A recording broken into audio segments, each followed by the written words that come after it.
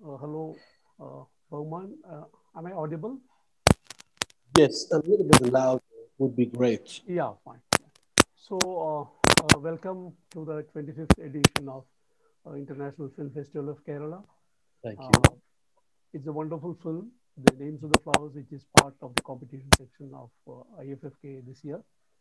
Uh, this year, due to this COVID situation, we are not able to actually physically meet and you know, celebrate the festival. But I think uh, we have to resort to these online means to communicate with each other. Uh, but very glad that this film is part of IFFK foreign because uh, Che Guevara is actually a, a legend all over the world, and you know he is actually iconized, mythologized uh, in Kerala too. Like he appears in various forms and he's part of political protest movements and all that.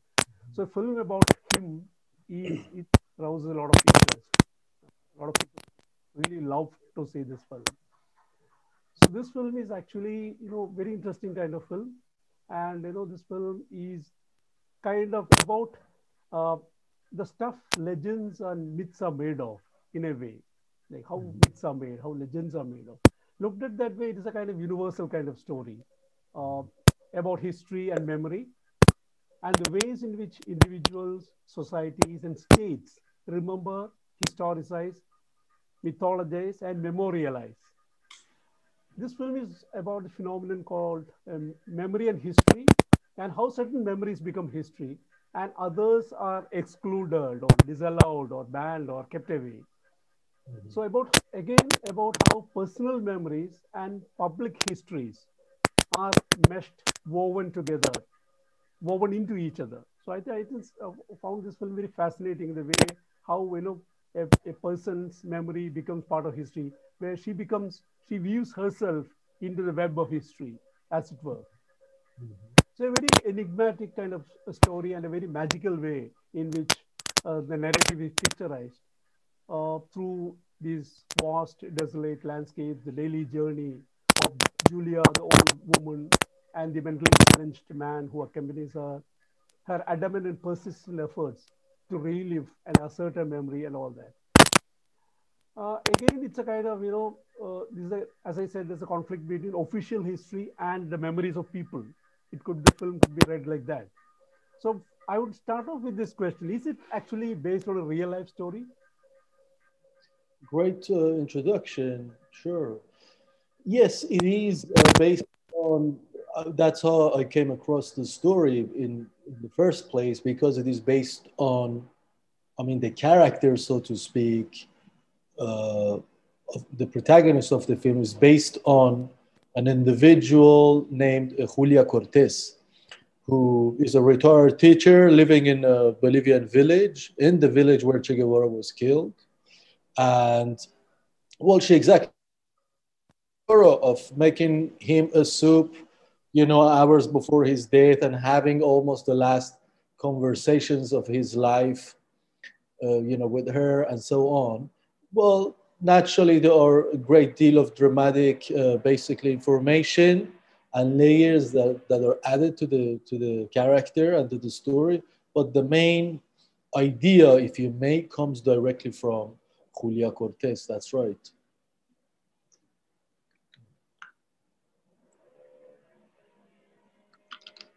Sorry, I can't hear you. Uh, excuse me. Yeah, can you hear me? Yes.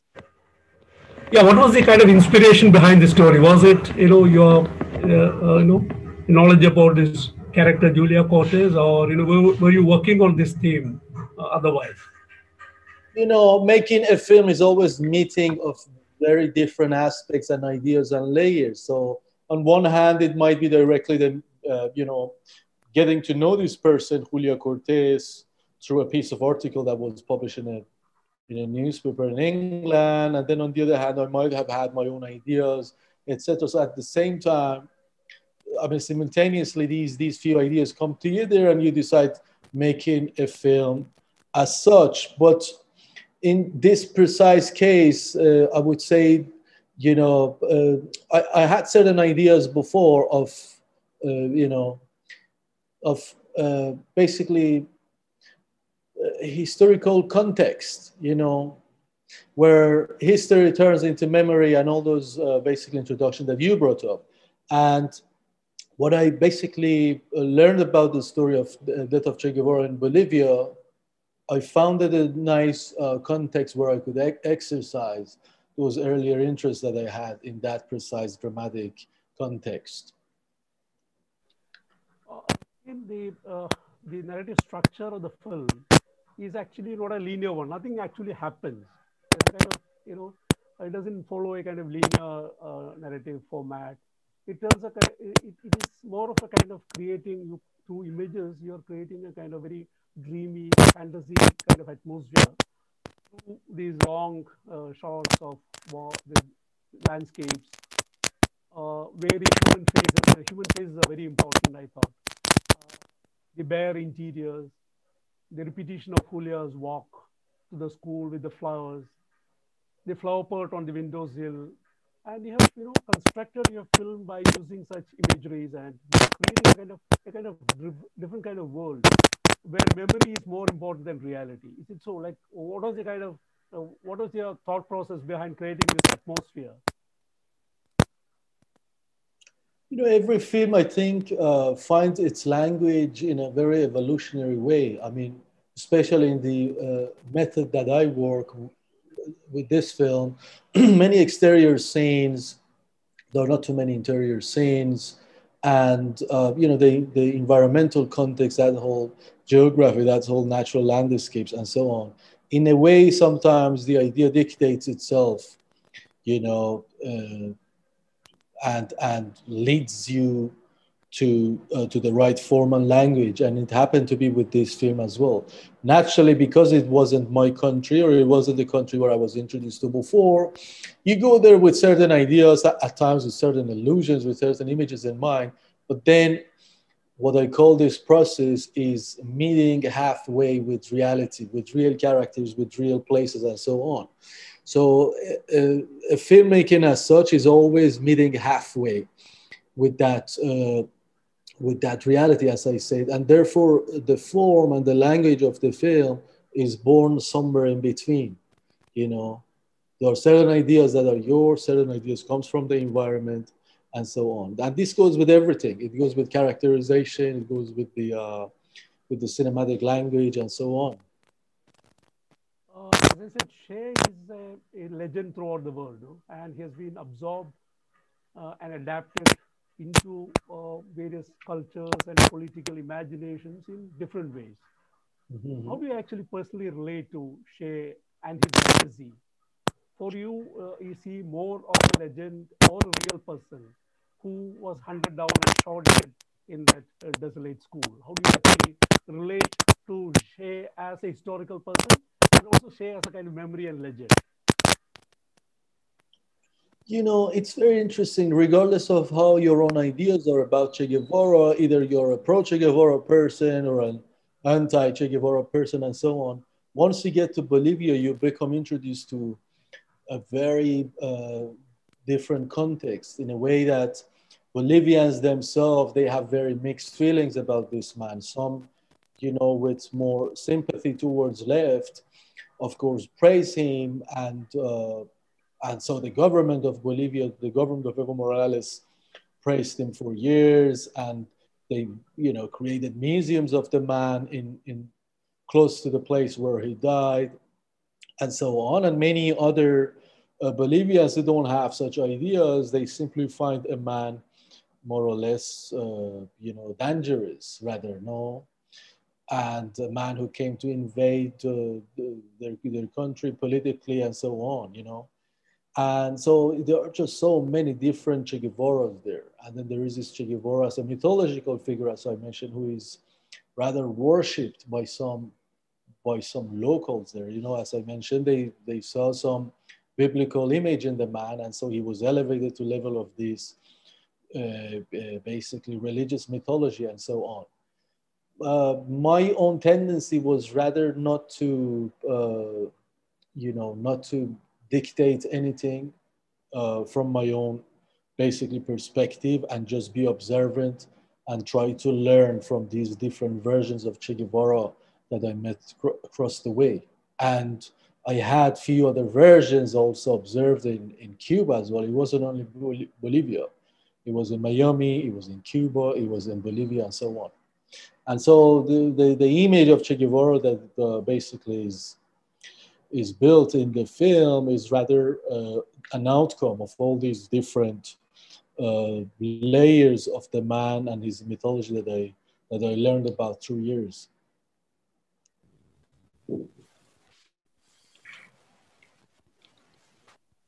Sorry, I can't hear you again. Uh, can you hear me now? Yeah. Yes, I do. Yeah. Uh, the film is also a kind of, you know, Julia's attempt, a person's, an individual's attempt to make history part of her life. You know, he, she personalizes a public legend in a way, or inscribing herself into a real event in history. But actually, her efforts are actually aborted or foiled by others and by the state. State has a different kind of version of history and about memory and all that. So are you actually talking about who owns memory and who writes history and about how personal memories, feelings and dreams are lost in the larger history? What is your take on that? I mean, a film should should ideally speak for its own. So I'm not going to add really comment on that. But as I mentioned, look, what I was interested in was this clash of the narratives, as you're putting, right? There is the narrative of the government, and the government has its own purpose for that narrative. You know, they celebrate that figure and his 50th years anniversary of death for certain political agenda and so on. And then there is that tiny individual who happens to be the protagonist of the film, whose name is Julia Cortez, that teacher, and then so on and so on. So basically, every uh, individual or institution around the, uh, the you know, that name around Che Guevara is being uh, basically benefited in different ways. And um,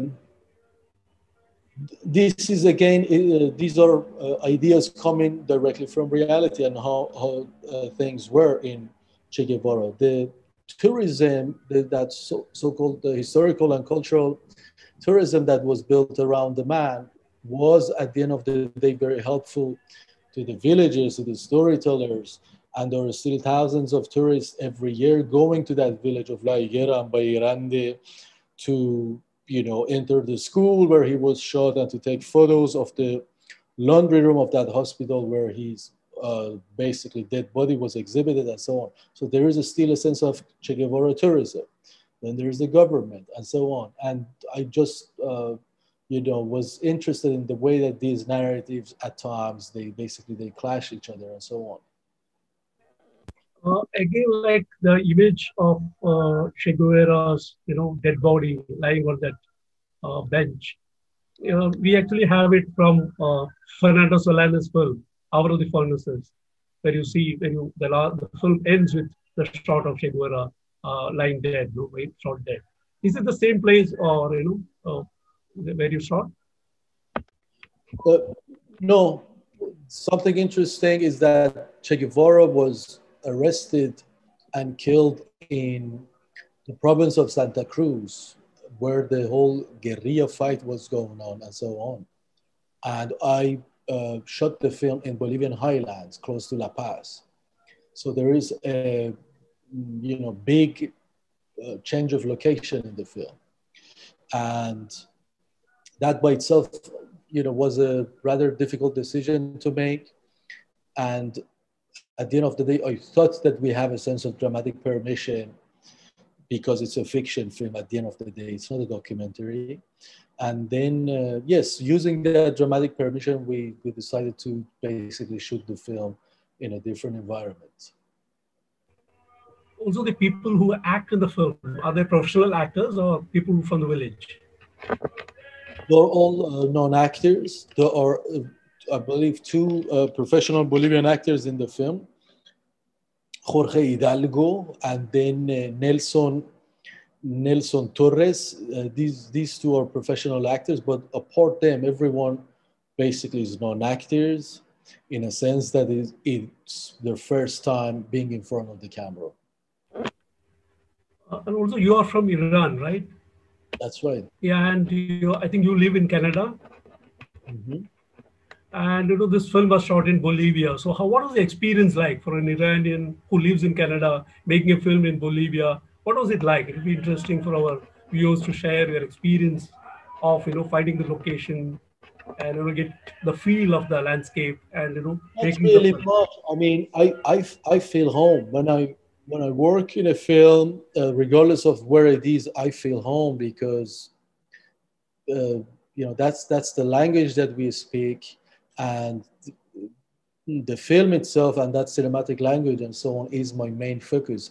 I try not to get distracted by, you know, the new environment that I step in, or nor to get to, to uh, yes, I, I, believe the term would be distracted by ideas and by by things that you know might be at first uh, seeming very interesting or very charming and so on but at the end of the day might not be coming directly from from uh, you know that that film itself. So I, I try to you know create a frame for myself stay focused in the frame and whatever i found interesting in the environment try to translate it into that frame at the end of the day.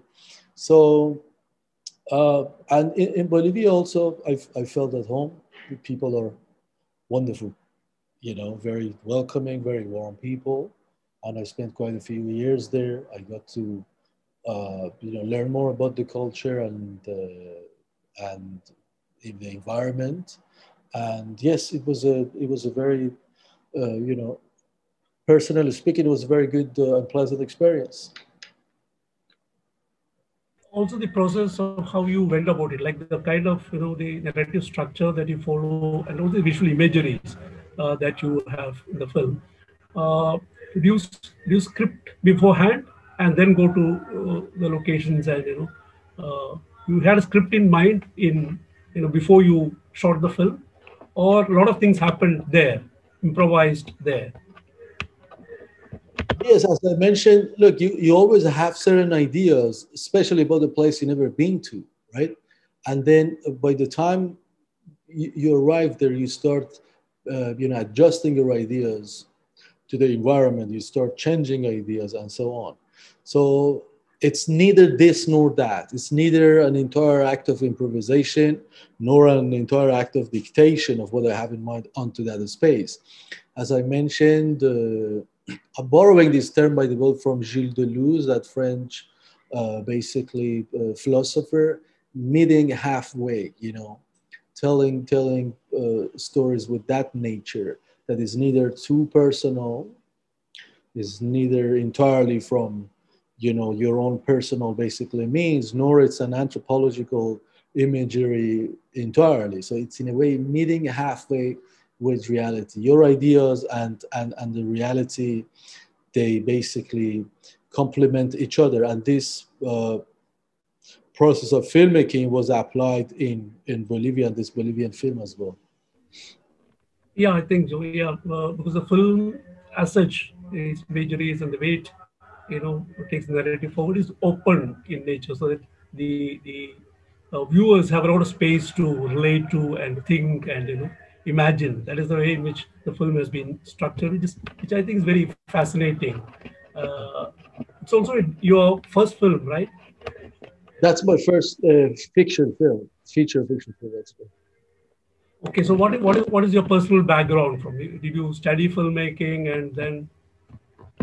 Well, I started acting as a child actor back in Iran, and then uh, I, I left uh, the, the whole acting world and I was working as a film critic in, in newspapers for a while and journals, film journals, and so on. And then I had a few short films made in Iran as well. And then uh, by the time I left Iran for Canada, I tried to basically keep my focus only on one field that uh, happened to be cinema. Uh, and I understand the film has been, has gone around to a lot of festivals. Uh, how was it received actually? And how was it uh, received in international festivals? I mean, uh, generally speaking, I, am very happy with the film that the, uh, with the way that the film was received and the, the, audience liked the film. The film won a couple of audience awards and so on. Very interesting, but uh, I was curious to see how would film, you know, how would film work in a few countries like China, for instance, and, and even in India and so on. And uh, I was surprised by the way that how the Chinese audience, for instance, welcome the film, or the audience in Brazil and so on. So at the end of the day, there are a few countries where the film just, uh, you know, connects apparently stronger with the audience, and that got me really interested. I had that, that experience, as I mentioned, with Brazil and with China. Yeah, I think that is very interesting actually, because people relate to Che in different ways, you know, uh, connected to their own political histories and all that. So, was it shown in Bolivia? Sorry, say it again. Uh, was it uh, shown in Bolivia? No, not yet, because of the the whole uh, you know pandemics we haven't had the chance to have our Bolivian premiere. So hopefully this year. I, I'm sure that this film will be loved here. Actually, people will like it because Che has been in in the public imagination and imagery uh, in Kerala uh, in various ways. So I think it'll be loved by people here. So. Uh, Excellent. I hope thank so. you for this uh, conversation and also tell us about your current project. What are you working on now? Yes, I'm working again on a, uh, as I mentioned, uh, uh, not to you, but earlier here and there, that I was interested in making a sort of a trilogy about 20th century and so on.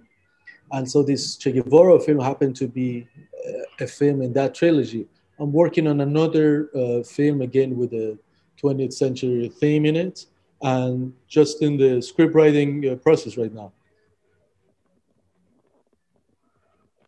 Okay, thank you, Herman, for being with us and also taking part in IFFK. Uh, looking forward to more films from you and also uh, maybe next time you'll be at IFFK personally. I hope so. Thank you very much and enjoy the film. Okay, thank you. I'm sure that will be enjoyed here and you know, appreciated well. We'll, Excellent. You know about uh, the, the comments of people and the response to the film. Great. Thank you. Okay, thank you. Bye. Bye.